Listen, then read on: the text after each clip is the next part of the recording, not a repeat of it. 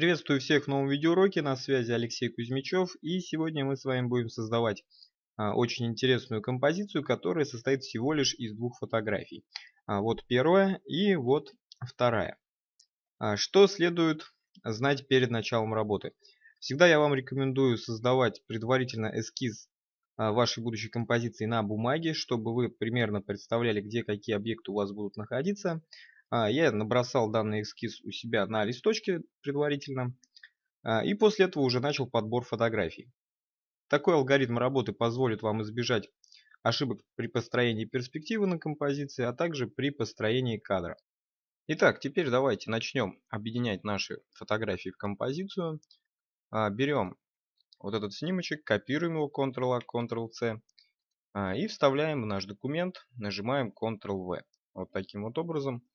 А, располагаем нашу модель чуть-чуть левее от центра, чтобы было лучше видно, как она вписывается. Можно понизить прозрачность а, верхнего слоя, и мы будем примерно видеть, а, как у нас будет строиться кадр. Да? Вот примерно здесь можно расположить модель. И давайте увеличим размер при помощи комбинации Ctrl-T и зажатой клавишей Shift растянем фигуру до размеров нашего кадра. Вот таким образом. Зажимаем клавишу Enter и теперь можно прозрачность поставить обратно на 100%. А, следующим шагом нам с вами необходимо отделить модель от белого фона. Сделать это можно различными способами. А, я предпочитаю использовать инструмент перо. Вы же можете использовать любой другой удобный для вас инструмент.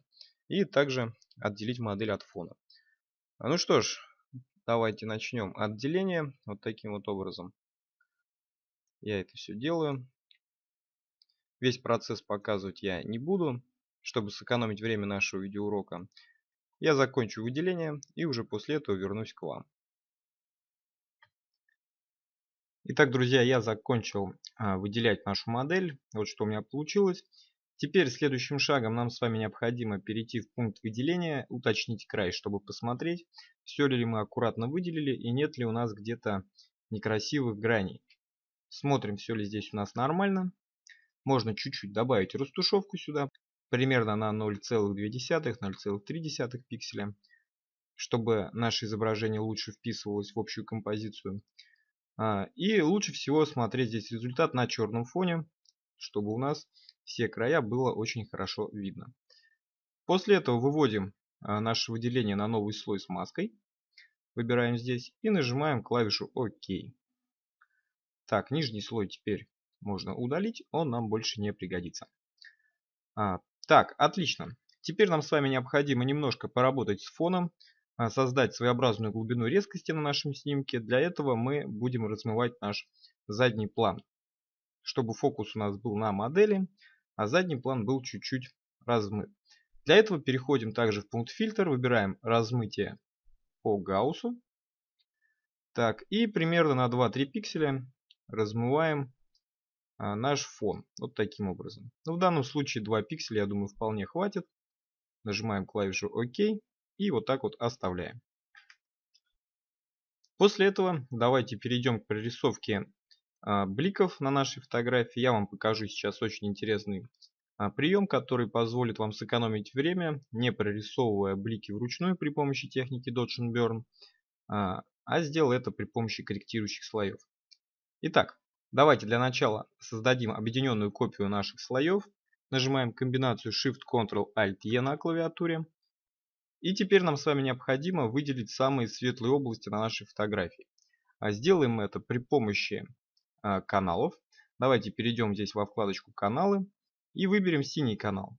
Синий канал мы берем потому, что он наиболее контрастный и позволяет как раз очень хорошо выделить все светлые области. Зажимаем клавишу Ctrl и щелкаем по квадратику канала. У нас загружаются самые светлые области выделения. Переходим обратно во вкладочку «Слои». Так, и теперь создаем корректирующий слой. Вибрация. Пока что его можно закрыть. И режим наложения для этого слоя ставим «Экран». Теперь выбираем маску этого слоя, щелкаем по квадратику. И переходим в пункт изображения, коррекция, уровни. Теперь при помощи уровней мы можем настроить контраст так, как нам это нужно. А в данном случае давайте перетащим черный ползунок ближе к центру. Так, средним ползуночком мы можем регулировать яркость и сделать переходы между бликами и темными областями. То есть, если мы перетаскиваем средний ползунок левее, то переходы у нас становятся очень сильно видны. А в некоторых случаях это выглядит хорошо, но в моем случае это смотрится не очень-то красиво. Поэтому давайте расположим ползуночки примерно вот таким вот образом. Так, и смещая белый ползунок к центру, мы делаем блики более контрастными.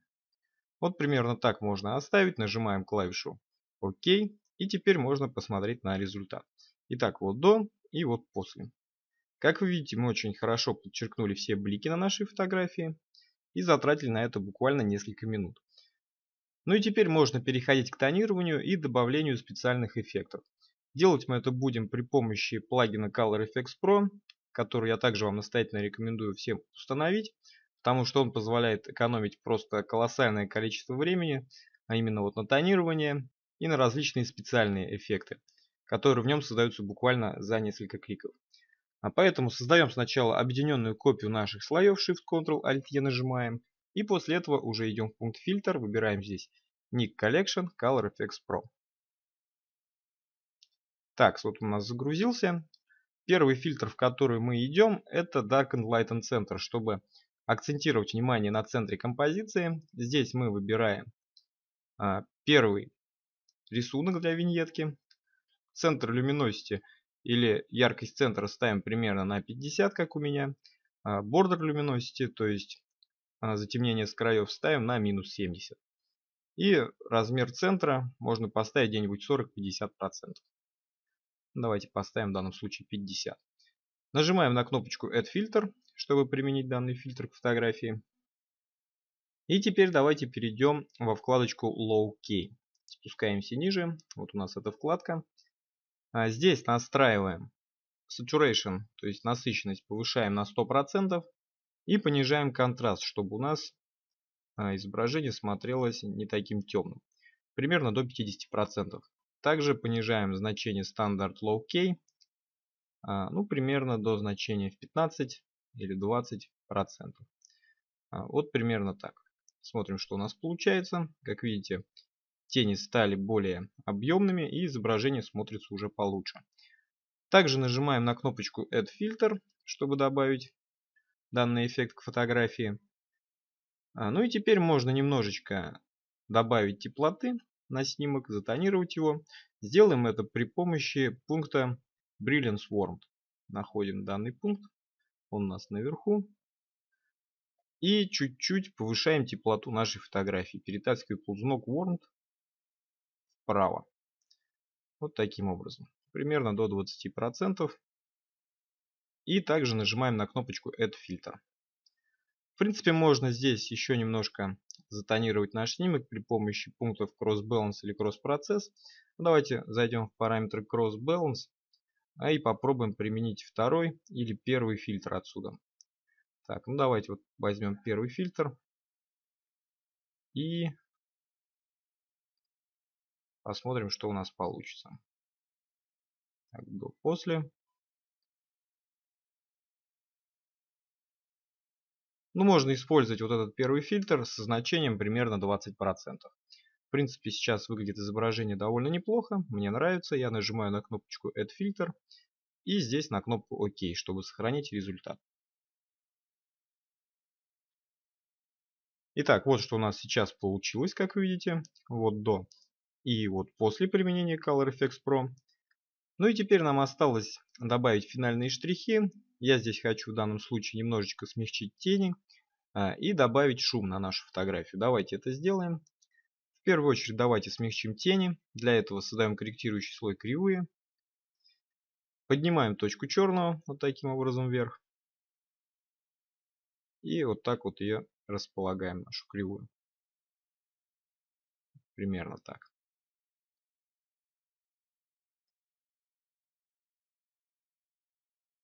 Закрываем данный корректирующий слой. Далее создаем новый пустой слой и заливаем его черным цветом. Нажимаем Alt-Del И теперь идем в пункт фильтр, выбираем здесь шум, добавить шум. Эффект ставим на 45 распределением по Гауссу и поставим галочку напротив монохромного. А здесь нажимаем клавишу ОК. Режим наложения для слоя поставим экран. И чуть-чуть давайте смягчим наш шум. Для этого размоем его по Гауссу. Переходим в пункт фильтра размытия по Гауссу. И размываем шум примерно на 0,5 или чуть побольше пикселов. Вот примерно так. Давайте даже чуть-чуть побольше поставим 0,8. Так вполне неплохо. Нажимаем ОК и понижаем прозрачность данного слоя примерно до 10-15%. Можно в данном случае, наверное, даже побольше оставить. Где-нибудь 25. Вот так смотрится тоже очень и очень хорошо. Ну что ж, вот в принципе и все. Наша с вами работа завершена. Я надеюсь, вам данный видеоурок понравился и вы остались довольны результатом. Большое всем спасибо за внимание и увидимся в следующих видеоуроках.